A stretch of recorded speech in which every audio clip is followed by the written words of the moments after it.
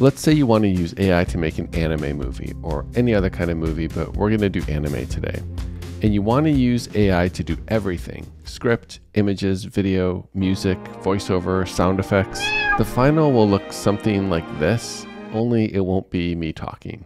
We'll be using Full Journey. Full Journey uses Discord, just like Midjourney and a lot of other AI tools. We can add the bot to our own private server and then create a channel just for this anime movie.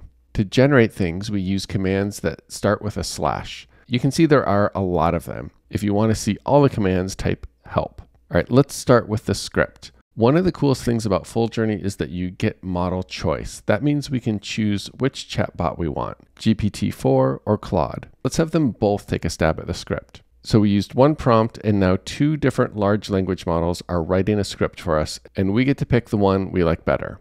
All right, I like the GPT-4 one better. I'm going to ask GPT-4 to write the image prompt for me because this is a tutorial and I'm lazy. All right, images. We're going to take the first prompt and use the make command, which is how we create images. If we want a landscape image, we type dash wide. If we want a portrait mode image, we type dash tall. And we get model choice for images too. So we can choose between Kandinsky, Juggernaut, Playground, Counterfeit, Dreamshaper, Proteus. Once you get the images, you can click this button to make more options similar to that one. You can turn it into a video or you can upscale the image. Since all of this is unlimited, I decided to test out a few videos. The portrait mode ones just sort of pan back and forth.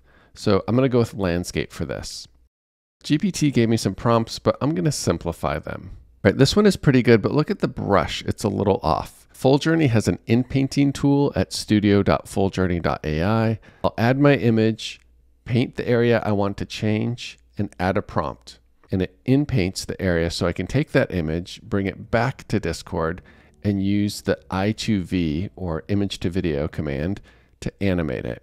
Inpainting isn't just for fixing mistakes. If we decide we want to have more wildflowers or something like that, we can use inpainting for that as well. Right, video, there are four ways we can create videos. One is creating an image and clicking the popcorn icon. The second is using the image to video command and uploading an image, maybe from another image generator or one that we've inpainted. The third way is using the video command, which creates a short video based on the prompt. And there's also a V1, V2, V3, and Sharp that you can add to the end of those and try different video models out as well. And the fourth way is using the movie command, which gives us a longer movie and there's more shots to choose from. Okay, let's make the characters talk. We need two things, an image and an audio file. So to see the list of available voices, type slash voice list, then use the speech command, type what you want the character to say, and then add a dash and the character name. All right, that gives us this audio file that we can download. Then we use the lip sync command and upload our image and our audio. Mother, how do the flowers know when it's time to bloom?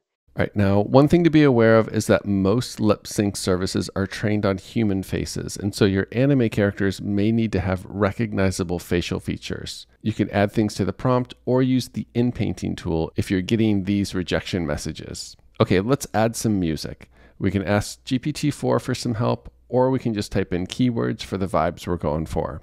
If we add this dash long option, we'll get a longer song. Sometimes the shorter ones work better in my experience. Let's add a final touch, just some sound effects. We'll use the sound command. Um, how about some birds chirping? So remember at the beginning when I set up a channel for this project, look at all of the different types of content I've generated. Images, videos, music, talking, scripts.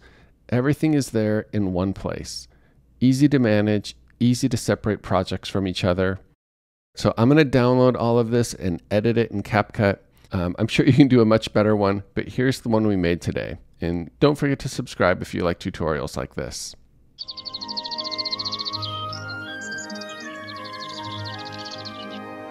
Mother, how do the flowers know when it's time to bloom? They always choose the perfect day.